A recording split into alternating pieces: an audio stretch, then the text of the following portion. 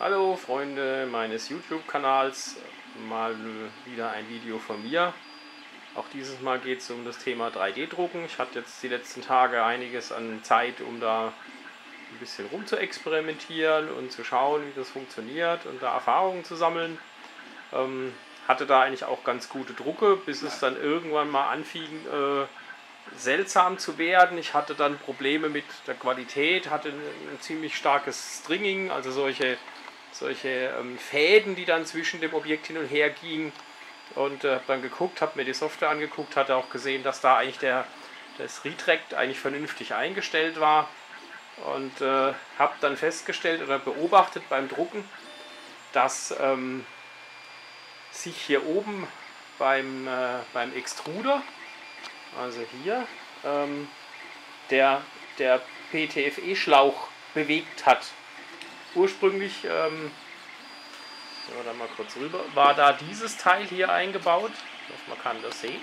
Das ist, da ist auch noch ein Ersatz äh, mitgeliefert worden. Ich vermute mal, oder mittlerweile verstehe ich warum. Ähm, weil diese Halterung hier nur innen drin nur so Kunststoffnasen hat und wohl ähm, durch das Hin und Her beim, beim, beim Retract, wenn das Filament immer wieder zurückgezogen wird, leiert das wohl aus. Und dann fängt der Schlauch da drin an zu wackeln. Es gibt dann auf, auf uh, YouTube waren dann Hinweise drauf, man kann sich hier solche, solche Clips äh, drucken, die man dann hier drauf steckt, ähm, um das etwas zu mildern. Aber ganz weg ist es damit auch nicht gegangen. Ich habe dann gar nicht lang gefackelt und habe dann eben äh, im Internet mir äh, entsprechend neue ordentliche bestellt. Die sind auch einiges größer, haben innen drin Metallklammern. Und genauso ein Teil habe ich jetzt hier auch dran. Habe das montiert und seitdem ist das Thema hier Geschichte. Also da wackelt jetzt nichts mehr groß. Ähm, das funktioniert gut. Ich habe dann auch, äh, es wird dann auch besser, hatte aber immer noch dann auch Probleme. Äh, ich hatte auch Probleme mit, äh, sag mal, merkwürdigen, sag mal, Artefakten in den Drucken äh, habe dann mal äh, von Cura auf Slicer gewechselt, da waren die Ergebnisse noch schlechter, aber das liegt wohl daran, dass äh, Slicer nicht ganz so pflegeleicht ist, da ein vernünftiges Profil zu erstellen. Da muss man sich dann schon nochmal tiefer einarbeiten, da hatte ich jetzt eigentlich auch keine Zeit dazu. Ich habe dann eben in, Cura mal genauer geschaut und äh, habe da so ein paar Merkwürdigkeiten festgestellt. Also die Bahnberechnungen, die das Cura zum Teil macht, ähm, sind so nicht so unbedingt, ähm, ja, wie soll man sagen, äh, eingängig. Ich habe es jetzt bei diesem Modell, das ist jetzt ein, ein, äh, ein Gehäuse, in dem Fall eine, eine, Unterschale für einen Raspberry Pi zum Beispiel festgestellt, dass er, obwohl ich es eigentlich so eingetragen habe, dass er die, die, die Wände optimiert drucken soll, hat er unten angefangen, äh, den Außenrahmen zu zeichnen, hat dann aufgehört nach einer Bahn, hat dann angefangen, die, die Öffnungen erst zu machen und da rumzukurbeln, ist er auch von links nach rechts gehüpft und hat dann, als er die unteren hatte, erst außen den Rahmen fertig gemacht und verschwendet da natürlich auch Zeit, weil da ja auch viel Fahrarbeit mit dabei ist. Und äh, man sieht manchmal auch, dass er da so ja, hin und her hüpft und äh, auch so Bobbel hinterlässt, weil er dann ähm, irgendwo die Bahn merkwürdig macht. Ich habe auch solche, die hatte ich mal am Anfang Video gezeigt, diese High-Klammern äh, habe ich jetzt ein paar noch gedruckt. Und da hatte ich eben auch so Effekte, das äh, hier zum Beispiel, ich weiß nicht, ob man das gut sieht. Nächstes Mal hin und gucken, ob ich die Schärfe besser hinkriege. Wahrscheinlich sieht man es nicht gut. Äh, da sind hier ähm, so richtige Bobbel, so Artefakte hier auf der Oberfläche. Äh, das habe ich an einigen Stellen beobachtet. Ähm, das ist aber nicht der, also aus meiner Sicht nicht der Drucker, weil er kann sauber drucken. Ich habe dann mal solche Testobjekte gedruckt. Und dieses Ding hier, das ist so ein, so ein, so ein Testobjekt äh, mit mit schrägen Übergängen, wo auch Temperaturen drin stehen und das ist eigentlich sehr sauber geworden. Da ist kein Stringing drin und gar nichts. Das sieht super aus.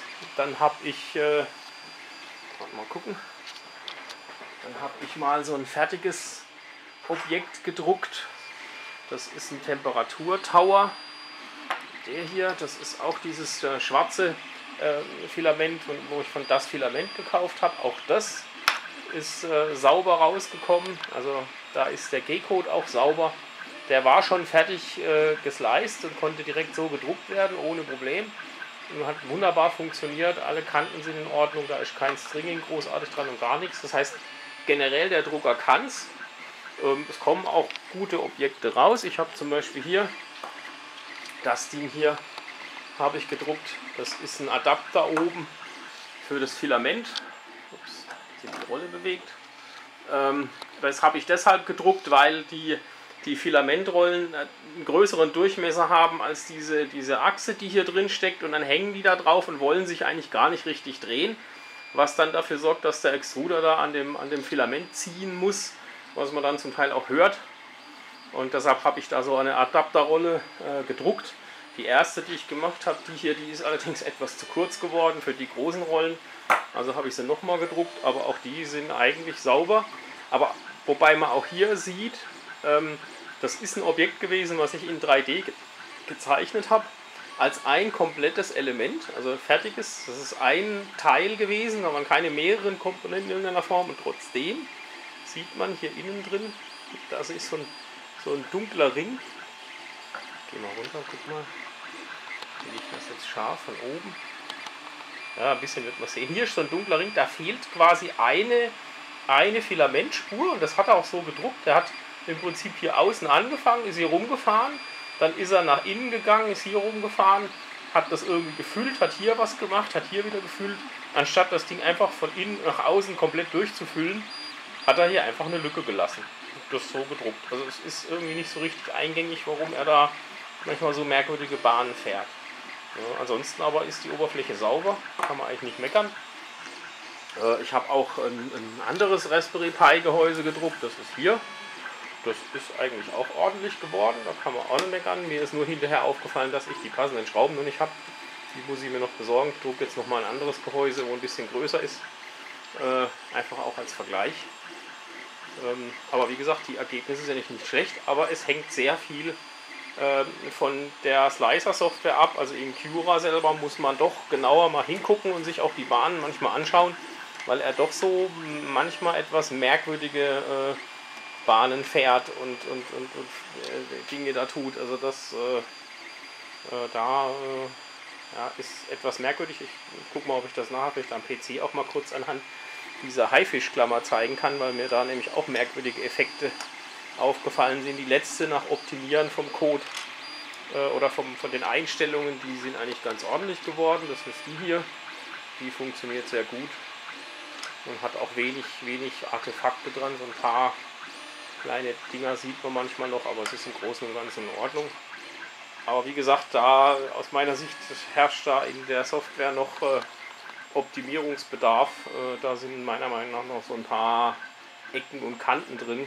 Wie gesagt, Slicer muss ich mir mal angucken. Da brauche ich allerdings ein bisschen Zeit, um mal zu gucken, wie ich da die Parameter richtig einstellen muss für ein Ender 3 oder ich muss mich mal auf die Suche machen, ob schon jemand mal ein Profil erstellt hat für Slicer für den Ender 3.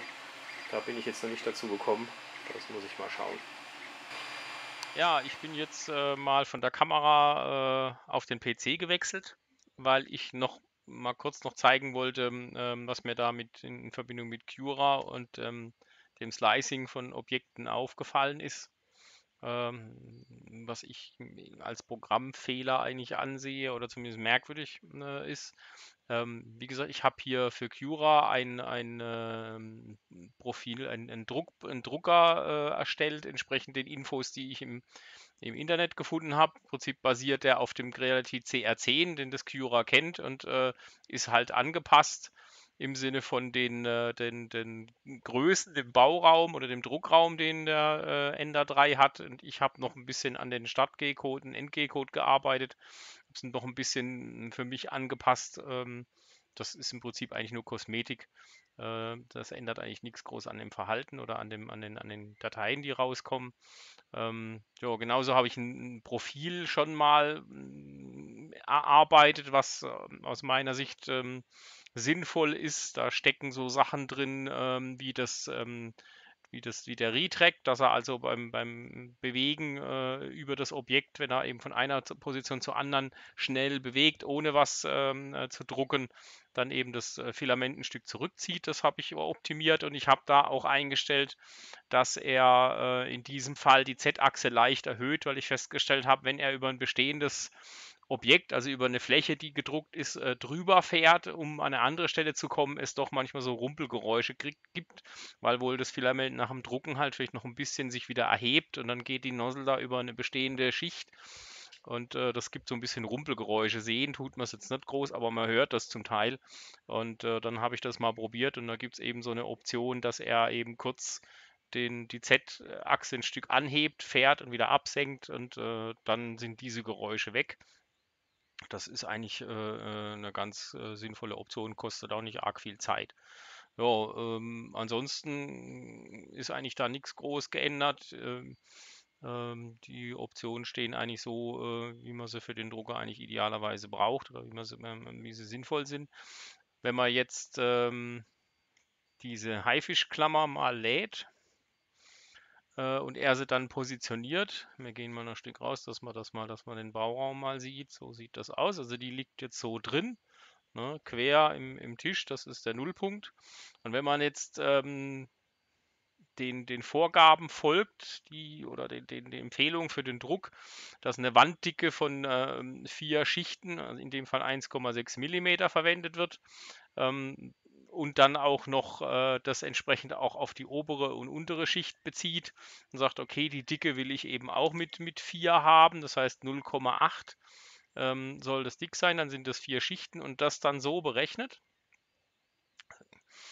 ähm, fallen einem zwei Dinge auf, wenn man sich das mal in den Schichten anguckt. Zum einen, dass ähm, dieses Raft außenrum falsch berechnet wird. Ja, das ist diese erste Schicht, die herumzieht, um eben die, die, die zu, dafür sicherzustellen, dass aus der Nozzle auch Filament rauskommt. Und die geht hier unter, durchs Objekt durch, anstatt hier außenrum, wie es eigentlich sein sollte. So, das nächste, was dann passiert, wenn man dann genauer hinguckt, das ist mir aufgefallen, weil die Klammer nämlich äh, geklemmt hat, dass er an der Stelle, ja, das mal gerade ein bisschen verschieben, dass man das, ups, dass man das besser sieht dass er an den Stellen hier, wo der Übergang ist, das ist ja so ein, so, hier entsteht ja so ein Hohlraum. Ja, wenn man das mal so zumacht, hier sieht man den Hohlraum, ähm, wo eben diese Querverbindung von dem unteren Teil hier zum Kopf durchgeht und dass man eben die, die auf die Klammer drücken kann und kann dann eben hier öffnen und schließen.